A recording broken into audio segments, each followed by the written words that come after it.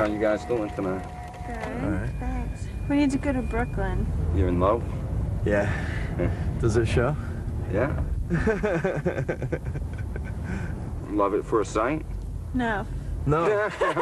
no. How long did it take? Uh, I guess three or four dates. Right? Yeah. But it wasn't like totally like gaga for quite a while. Took, I think it took, uh, I think it was three dates.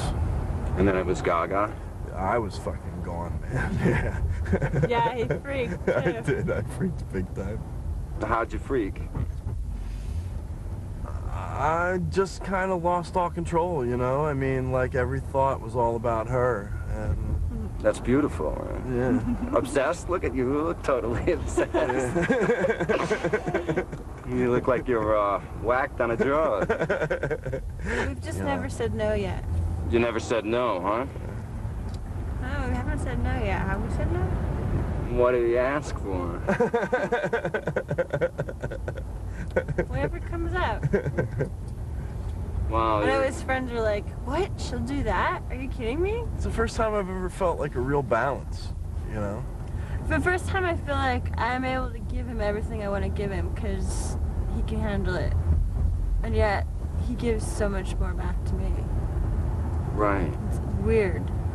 If I had to tell you if I knew any much about him, I really don't know really much about him, except I know a lot about him. Yeah, and I don't trust women.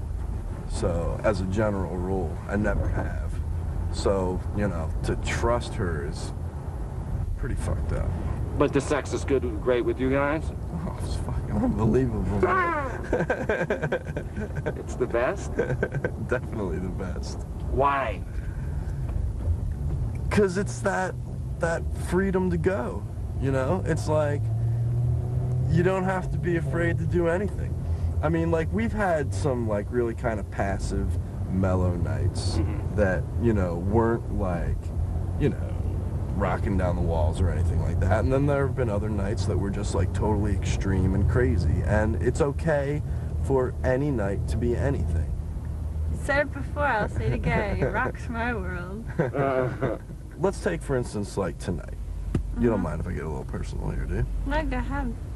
All right, we were, you know, we were on our way. It was really dead at Shea Stadium. You know, it was totally empty. We were throwing back a few brews, getting a little drunk, and I'm looking up to the top bleachers, you know, and I figured hey, what a great fucking idea it would be to take her up to the top and, and get it on in Shea Stadium, you know. it never came to fruition because we got busted by a cop, but you got busted by a cop what? At, at up at the top bleacher we got we got snagged. They stopped you from like, Yeah, they stopped us when we Oh, were getting man. pretty close. see what a bummer. We're all the way in the top.